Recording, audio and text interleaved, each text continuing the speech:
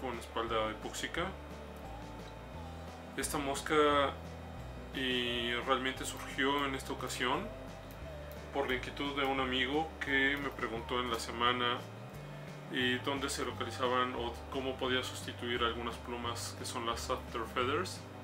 Estas plumas son utilizadas para la parte de las, de las agallas o las branquias de eh, las ninfas.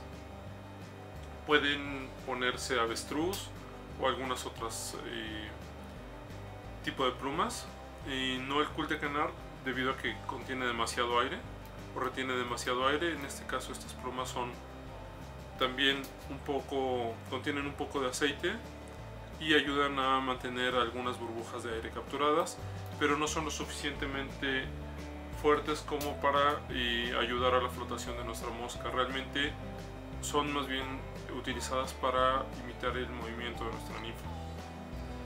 Para esta ninfa vamos a ocupar un anzuelo para stonefly o, una, o para pupa eh, cádiz. Lo que tiene de peculiar este anzuelo es eh, la descripción de la curva que tiene en la parte posterior y tiene un ojillo recto. En este caso es un anzuelo del número 12. Vamos a ocupar lastre sin plomo para evitar toxicidad en el agua. Vamos a ocupar prácticamente tres cuartos de nuestra mosca. Parte final podemos eliminarlo con nuestras pinzas o simplemente terminar de apretar ahí el alambre hacia nuestra mosca. Vamos a empezar a atar en la parte de adelante únicamente para generar mayor sujeción hacia el peso o el lastre de nuestra mosca.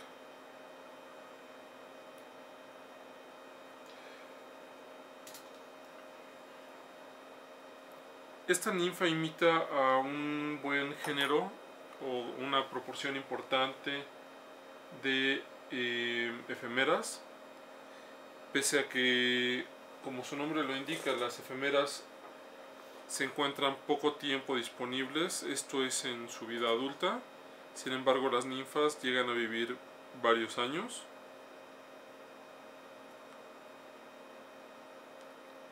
Y esa es su etapa juvenil. En algunos casos las efemeras tienen dos etapas aladas, continúan con una etapa juvenil alada y después eh, maduran, cambian nuevamente su exoesqueleto y maduran sexualmente y ahí es donde viven realmente pocos días o un par de semanas a lo sumo. Una característica importante de las efemeras es que prácticamente la mayoría tienen tres cercos. En algunos casos son cercos muy fibrosos que podemos imitar por ejemplo con la face and tail. Algo que imita eh, definitivamente eh, un genérico de este tipo de moscas es la oreja de liebre. Y aquí lo que hemos puesto son tres fibras para la parte de nuestra cola. Vamos a utilizar tincel de color perla o puede ser un tincel holográfico. No ocuparemos un calibre muy grande, realmente en este caso es un tincel de tamaño mediano. Lo voy a tener en la parte de atrás. Y ahora voy a utilizar un color olivo. No, no muy oscuro realmente. Vamos a ocupar un color olivo en cristal o en Dubin cristal. Y vamos a ocupar un poco de cera únicamente para poder torcerlo vamos a ocupar la misma técnica que con otros dubbings torcemos en un mismo sentido lo detenemos y empezamos a formar una cuerda y esta va, nos ayudará a formar el cuerpo de nuestra ninfa. Podemos ocupar aquí la mitad del cuerpo de nuestra ninfa o bien podemos ocupar prácticamente dos tercios. Mi recomendación para este tipo es que dejemos el mayor espacio posible para el tórax. Entonces podemos ocupar la mitad o un poquito más sin pasarnos del 60%. Voy a utilizar una pluma de guajolote en color verde olivo o de pavo. Y para escoger la densidad de la espalda lo que voy a hacer es que vamos a tomar otro anzuelo y con este eh, con el gap vamos a separar las fibras. Y eso nos va a dar el ancho ideal para nuestra espalda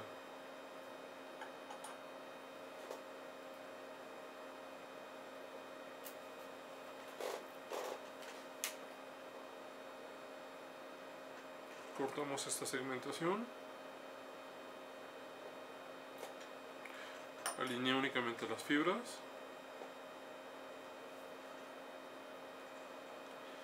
Previo al montado de nuestra espalda lo que voy a hacer es utilizar el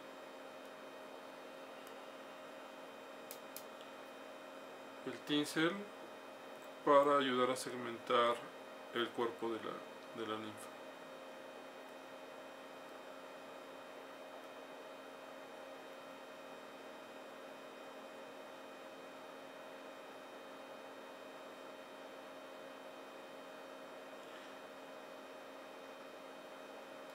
no puedo hacer muchos loops o bueno muchas vueltas en la parte posterior porque entonces va a mantener las fibras de la cola unidas y realmente parte del atractivo de esta ninfa es que los cercos queden libres o independientes.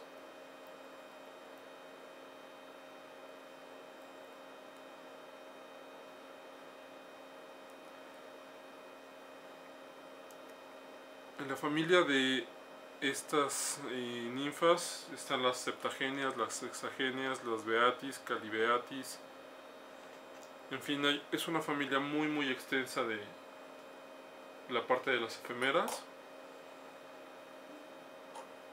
Voy a cortar esta parte de, que nos sobra ahí de dubbing. Y en este caso no voy a ocupar pegamento para eh, fijar o darle mayor durabilidad a la espalda de esta ninfa debido a que realmente pondremos una gota de epóxico o un poco de epóxico arriba. En este caso voy a ocupar plumas de perdiz. Lo que voy a hacer es tomar un par de, de fibras de perdiz de la parte de la espalda y voy a ocupar toda la pluma.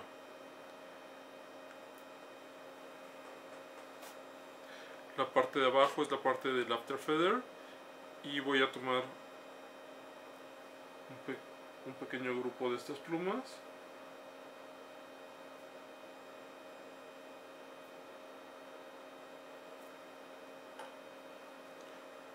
Voy a eliminar los restos del stem. Presento en un costado y sujeto con, con un dedo para poder fijarlas correctamente. Y las voy a dejar justo en la base de, donde empieza la espalda de nuestra ninfa. Voy a cortar el excedente.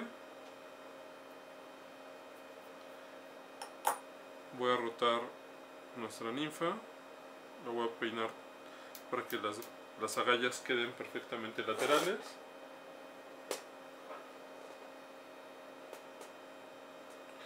y voy a buscar que el siguiente grupo de plumas sea muy similar en volumen.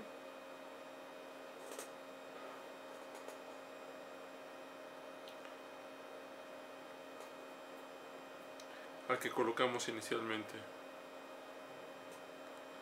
Nuevamente presento para identificar que quede perfectamente lateral y entonces amarro ahora voy a eliminar el excedente.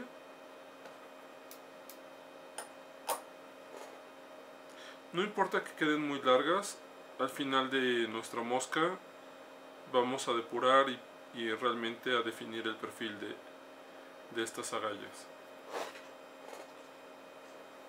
Vamos a tomar ahora otro poco de dubbing de color olivo y en este caso buscaremos que sea un poco más oscuro.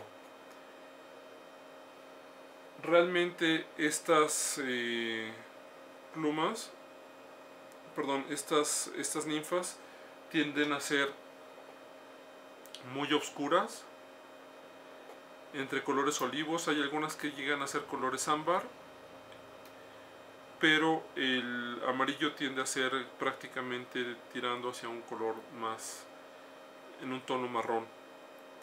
Con un poco de eh, cera voy a aplicar el para poder girar el dubbing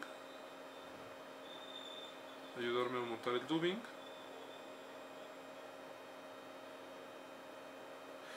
ya que deseo que quede lo más apretado posible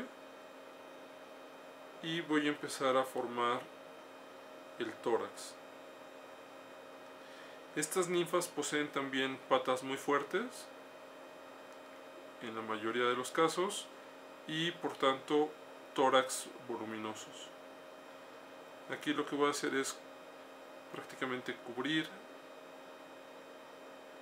lo que teníamos restante de nuestro lastre o la cama de, de alambre que pusimos. Voy a colocar un poco más de dubbing. Y voy a dejar un espacio amplio para continuar la parte de la cabeza y el, y el tórax. Y poder rematar nuestra mosca en el siguiente paso. Esta mosca yo recomiendo que si vas a atar una serie y realices prácticamente hasta este paso de aquí. Es decir, cubrir la parte de las alas o la parte que formarán las alas de, de, nuestra mosca o esta parte de la espalda. Aquí vamos a recortar el excedente de pavo que tenemos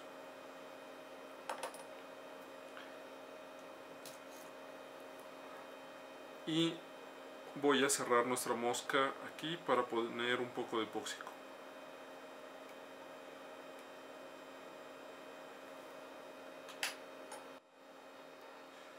Nuestro epóxico está listo.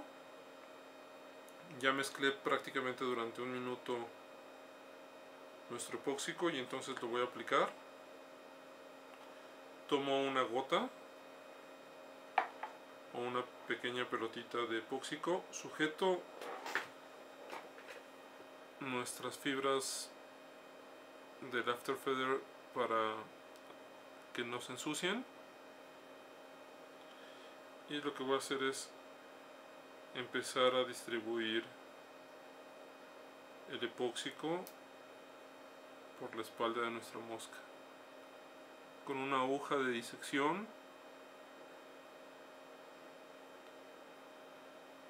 estoy tocando distintas partes de nuestra espalda para que quede perfectamente impregnado.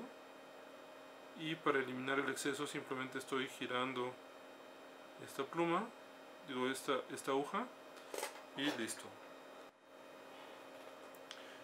Vamos a continuar con nuestra mosca. En este caso el epóxico ya ha reposado algunos minutos, aproximadamente unos 10 minutos. Aún puede estar relativamente suave, pero ya nos permite eh, poder trabajar con la mosca. Vamos a montar nuevamente nuestro hilo. Voy a cortar el excedente. Mi recomendación es que realices varias moscas de este tipo al mismo tiempo. Puedes eh, montar unas 4, 5 o más moscas si deseas. Hasta este punto colocas el epóxico y después podemos continuar con el resto del tórax. De esta manera vas a ahorrar tiempo y a mejorar tu sistema de producción para este tipo de moscas con espalda de epóxico. Lo que voy a hacer es utilizar las fibras altas de perdiz o de la pluma que usamos hace rato, que son más firmes. Las voy a medir para que queden a la altura, la punta a la altura de nuestro tórax y voy a dar un par de vueltas. Una vez que están fijas, lo único que voy a hacer es levantar aquí y eliminar el, el excedente. Voy a utilizar otro bonche de plumas o de fibras, más o menos la misma cantidad para que nuestra mosca luzca simétrica.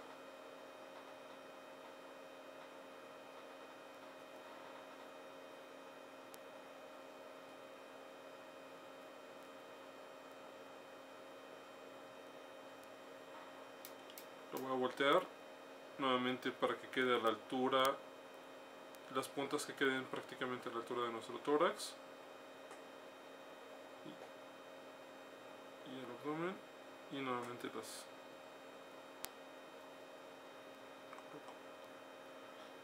le damos un par de vueltas para completarlo se fueron algunas. Listo.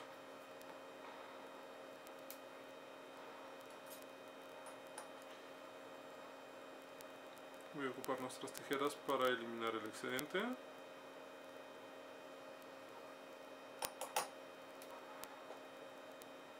Un poco hacia atrás. Y listo. Vuelvo a quedar en la base del tórax que dejamos pendiente y voy a tomar nuevamente un poco de dubbing Realmente en este caso va a ser muy poco, únicamente es para formar la cabeza de la ninfa. Y voy a torcerlo sobre nuestro hilo de montado. Lo acerco y comienzo a generar la cabeza. En este caso vamos a ocupar un poco de volumen, entonces realmente estoy armando hacia atrás. Realmente estoy yendo de la cabeza hacia atrás, hacia el tórax. Entonces sujeto las patas para que no queden por debajo de, de nuestra cabeza y listo. Una vez que logré el mismo volumen que el resto de nuestro tórax, elimino el exceso de dubbing. Y ahora sí voy hasta el frente en un solo paso y voy a montar la cabeza de nuestra ninfa o bueno de hilo. Tomo mi herramienta para el nodo final. Y vamos a cerrar la, la mosca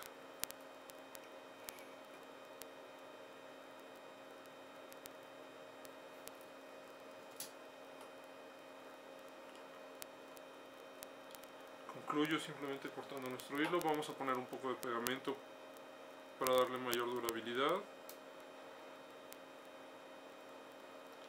Y elimino el excedente de dubbing. No es una mosca que requiera eh, un cuerpo muy irregular. Entonces sí tenemos que dejar el cuerpo muy limpio.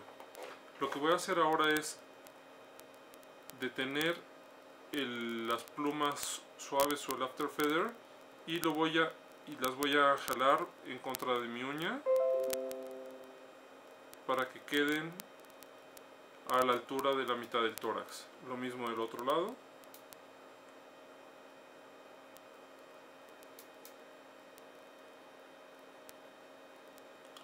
No es necesario cortarlas. Necesitamos darle esta terminación, esta apariencia un poco más eh, de plumón para que en el agua simule las agallas de nuestra de nuestra ninfa.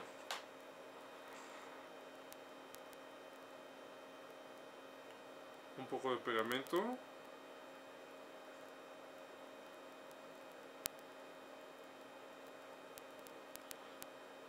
En la cabeza la ninfa y listo. Esto es todo. Espero les agrade este patrón. Es un patrón muy útil, sobre todo en agua clara. Por favor dejen sus comentarios. Si les agradan los videos, les agradecemos que le den like. Si desean que armemos algún patrón o algún sistema de atado en específico, no duden en dejarnos sus comentarios en la parte de abajo. Gracias y que tengan una excelente pesca.